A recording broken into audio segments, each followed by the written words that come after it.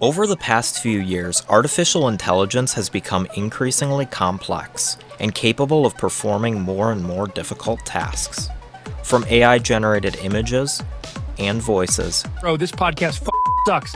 to even music, virtually no area of human expression has been untouched by AI. And now, with sophisticated large language models such as ChatGPT and Bing Chat, it's now possible for the first time to have AI generate code. And since I'm a programmer, I started to wonder if AI can beat me when it comes to writing code. But there's only one way to find out.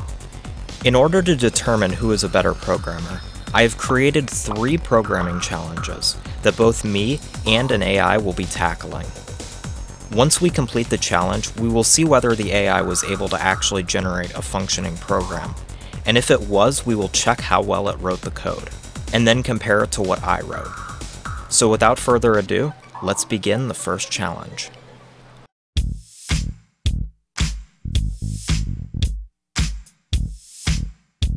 Alright, this first challenge is to write a vector implementation. ChatGPT is almost done already, as you might expect. If you're unfamiliar with a vector, it is a kind of data structure that is just an array that can change in size, also known as a dynamic array. Since I only know a couple of languages, I decided to just do this challenge in C++. Now I know C++ already has vectors in the standard library, but it's just a simple starting challenge. Alright, we both are now done, and it took me a full 10 minutes to get this written. So obviously ChatGPT has a speed advantage when it comes to writing code. If we look at the code we wrote, you could see we create an empty vector to store integers, and then add some values to the back of the vector, as well as deleting from the back. And if we look at the output, it looks just as you would expect. Now I know it's not the most featureful vector, but it gets the job done. If we take the code ChatGPT generated, it works just like ours, but things get interesting when we look a little bit closer at the code itself. Not only is the code slightly more concise than mine, when the array itself needs to be resized, the code is actually significantly more efficient, because the array I used in my code to store the original elements is just the original array. Just having this information would have let me make my program a lot better. So clearly for simple algorithms, AI can prove to be quite helpful. And because of that, I think I'm going to give the win to ChatGPT. But let's now move on to the second, more difficult challenge.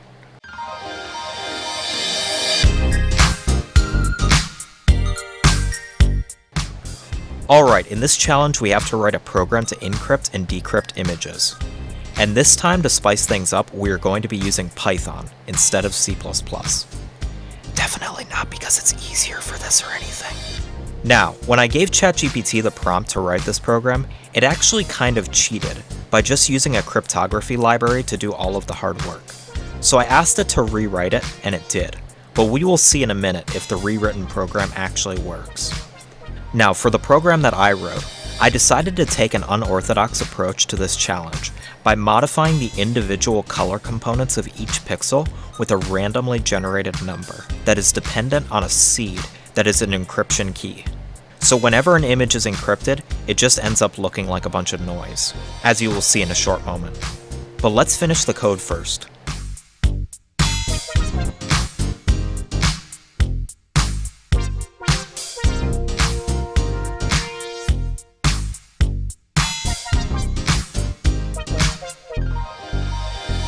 Alright, the code is complete and it took me a total of 26 minutes, which isn't too bad considering all of the tinkering I had to do. Let's run the program so I could show you how this works. Alright, here I have an image for us to encrypt. Sorry, I had to do it. So in the program, if I select the encryption mode by typing E and give the name of the image, it will now generate an encrypted image in the same directory, as well as giving us the magical decryption key. Now, if I select the decryption mode instead, I could type the name of the encrypted image as well as the key that was previously generated, and it generates a decrypted image. And it looks exactly the same as the original. Now the code that ChatGPT came up with works too, although it's a bit cumbersome to use. The only real problem I have with the ChatGPT program is that the encrypted image is unviewable, since it encrypts the image header that allows the image to be viewable in the first place. So for this challenge, even though ChatGPT wrote a slightly less convenient program, the code itself was very concise and easy to read. So this challenge will be a tie.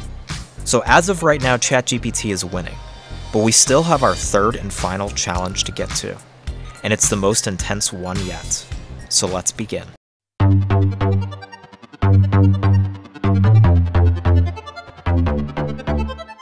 Alright, as you saw from the title, the grand finale is to write a fully functional game. Now the idea for this game is simple. You are a square in the middle of the screen who has a gun, and you can shoot it in all four cardinal directions. You will need this because the enemies will spawn on each of the four sides, and try to reach you, but you can shoot them before they kill you. And your goal is to remain alive as long as possible. It sounds like a fairly simple game, but giving a prompt like this to ChatGPT was a challenge. So I wrote out a paragraph long prompt with as much detail and precision as I could, and then gave it to ChatGPT. And it actually wrote a program, but we will see how well it works in a bit.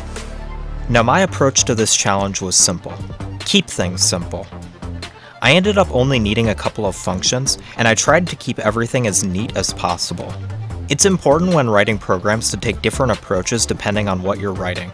For example, working on my 2D Minecraft project requires an enormous amount of forethought and planning. But something fun like this doesn't. Realizing that every project is unique is important to being a good programmer. Anyways, enough of my rambling, let's finish this game.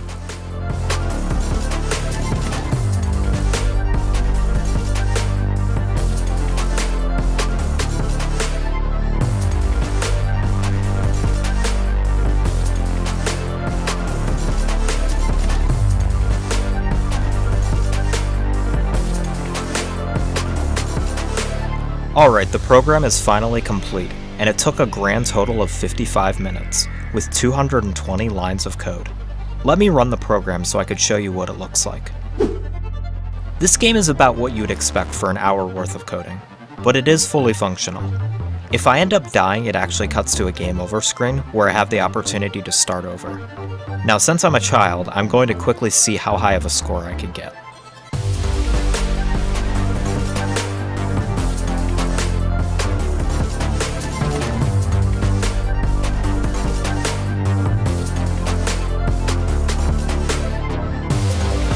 61. I mean, it's alright. Since I had my fun, let's see what ChatGPT was able to generate. Well, I mean, at least it was able to boot up.